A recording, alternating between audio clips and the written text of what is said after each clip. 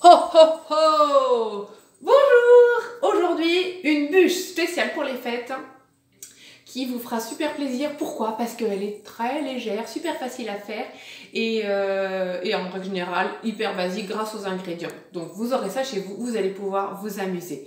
Alors pour démarrer la recette, au départ il faut préchauffer le four. Nous on va attendre un petit peu parce qu'il chauffe assez vite. On nous demande de tapisser une plaque. Alors moi je ne vais pas tapisser de plaque, je vais utiliser une feuille à rebord. Voilà, avec euh, exprès justement pour pouvoir faire ma génoise. Donc on va insérer le fouet. Vous vous souvenez, le fouet jamais au-dessus de la vitesse 4. Et on va y mettre 4 œufs. Alors les œufs, bah, je ne les ai pas préparés. Donc je casse bien à plat pour éviter les micro-coquilles.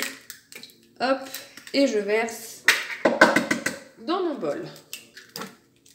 Alors oui, on peut effectivement les casser euh, à part pour contrôler qu'ils ne soient pas pourris. Ce serait dommage que je tombe dessus en plein sur la vidéo. Vous auriez de quoi rigoler, ceci dit.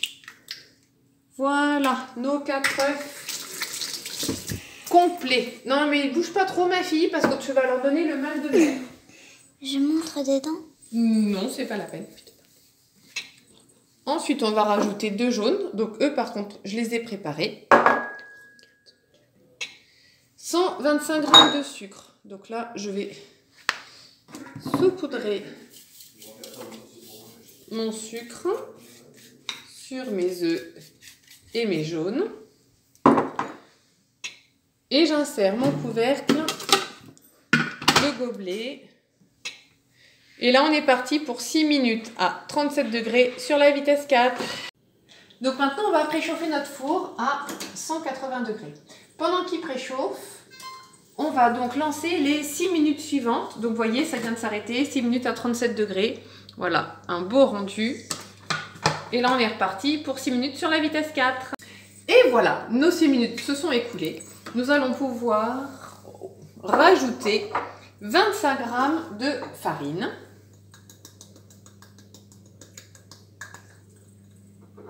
Ensuite, 25 g de fécule de pommes de terre. Voilà. Ah, il m'en reste un petit peu. Hop. Puis, alors normalement il faut, il vous faut, pardon, j'ai la langue qui est, oui, 25 grammes de chocolat, de cacao noir euh, amer, non sucré, mais nous on va en mettre 30 grammes pour avoir un goût biscuité encore meilleur.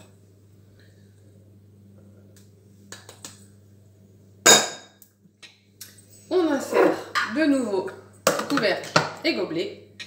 Et 4 secondes Vitesse 3 1, 2, 3, 4, Et voilà. On attend que ça se déverrouille. Donc là, regardez. Moi, j'aime beaucoup. Et vous, vous en pensez quoi? Allez, on va racler un petit peu les parois. Voilà.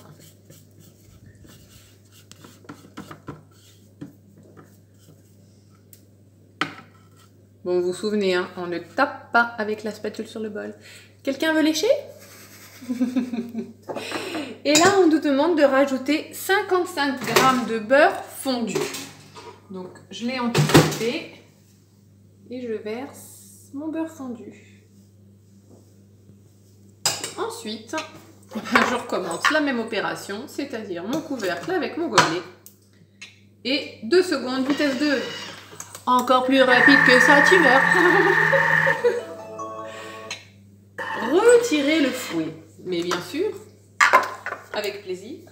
Donc, avec la spatule, voilà, vous allez pouvoir racler le long du fouet sur toutes les différentes parties. D'un côté, hop, puis de l'autre. Il n'y a pas de raison qu'on laisse tout ça sur le fouet. N'est-ce pas? Si vous êtes gourmand comme moi, vous comprendrez bien qu'on ne peut pas laisser, ce serait sacrilège. Oh non Horreur, malheur. Oui, je chante beaucoup. Et ensuite, on va donc transvaser, alors sur la plaque préparée, sur notre fameux moule. Donc voilà, vous allez pouvoir constater. Ah, attendez, j'aime bien quand même mélanger encore un tout petit peu Voilà. En tout cas, la génoise est très mousseuse. Ça s'entend. Donc on va verser sur notre plaque à rebord. Voilà. Donc maintenant qu'on a bien étalé notre préparation partout, il en reste un petit peu sur la spatule. hein. On va la faire descendre. Voilà. Et la petite astuce avant d'enfourner, c'est de tapoter.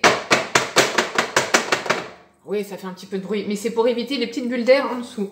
Notre four ayant préchauffé, on va pouvoir enfourner entre 10 à 12 minutes à 180 degrés. Donc, il faudra bien que vous vérifiez la puissance de votre four. En fait, il faut qu'elle soit cuite, mais pas cramée. Et donc, 10 à 12 minutes, bah, vous partez sur 11. Comme ça, vous êtes tranquille.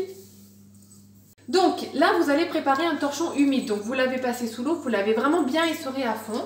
On va donc le disposer sur la table ou votre plan de travail, peu importe. On ouvre le four. Hop. On récupère la plaque. Ah bah c'est pas la bonne Danique. Qui c'est qui me l'a changé Oui, bon, ma main droite. Hop. Je récupère la grille. Donc évidemment, sans vous brûler, vous faites bien attention, vous l'attrapez, vous approchez, vous retournez. Et donc là, l'opération est de décoller.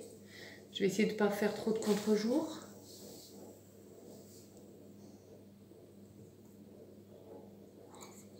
Voilà, dans les pieds. Et donc, quand votre torchon est humide, le but justement, il est là. Vous allez rouler votre biscuit délicatement avec le torchon à l'intérieur. Voilà, et maintenant, bah, vous allez le laisser refroidir complètement. Donc, euh, je vais le mettre sur un support au frais. Et une fois que le biscuit aura bien refroidi, on va pouvoir le garnir. Donc, pendant que votre biscuit est en train de refroidir, alors quand je vous ai dit au frais, euh, pas au réfrigérateur, hein, bien sûr, vous le laissez à température ambiante ou bah moi il est parti dans le garage parce qu'il fait froid. Comme ça, il va bien refroidir. En attendant, j'ai lavé mon bol et là, on va passer à la préparation de la crème. Donc, j'ai inséré mon fouet.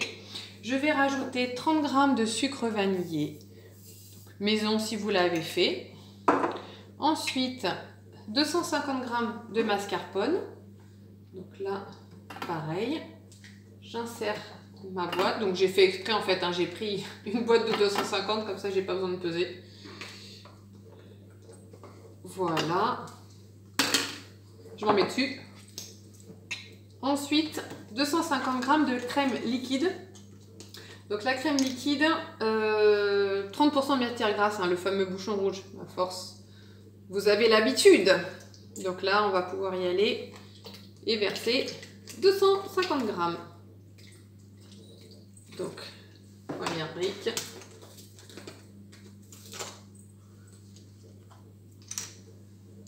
Deuxième. Voilà, allez, il faut qu'on monte. Hop, on y arrive. Bon, il y en a un petit chouille de plus. Ce n'est pas gênant du tout.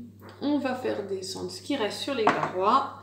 Ensuite, couvercle et gobelet. Et on va donc fouetter vitesse 3 environ une minute. En tout cas, jusqu'à ce qu'on arrive à une jolie crème fouettée. Donc là, notre crème, hop, je vous montre, est faite. On va donc, comme mon biscuit, je viens de le faire, et ben, il n'est pas assez froid. Je vais donc transvaser ma crème dans mon saladier que je mettrai au frais juste après. Et ensuite, je vous montrerai euh, le montage. Alors, oui, c'est ça qu'on n'est pas prévenu que ça va démarrer, forcément, on attend. Le biscuit est froid, on va le dérouler et on va le garnir. Donc vous allez de nouveau positionner votre biscuit, vous déroulez délicatement. Hop. Donc le but normalement c'est qu'elle ne soit pas cassée. Et là avec notre jolie crème, vous allez en prendre la moitié et disposer sur toute votre bûche. Voilà, à l'aide d'une spatule. L'embêtant, c'est que forcément, comme elle a craqué par endroits, bah même pour rouler, elle craque.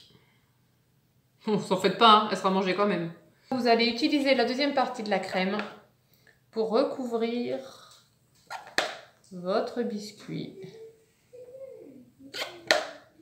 et pouvoir bien tout recouvrir partout. Donc une fois que vous l'avez euh, recouverte, voilà, vous allez pouvoir faire des petits chemins avec une fourchette pour lui donner cet effet euh, bûche comme dans les magasins. Voilà, de part et d'autre.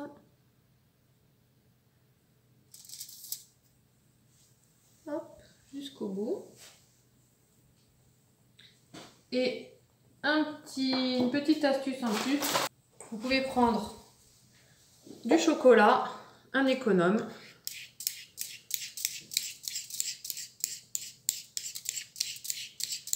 Et recouvrir de copeaux de chocolat votre bûche. Et ensuite, au frais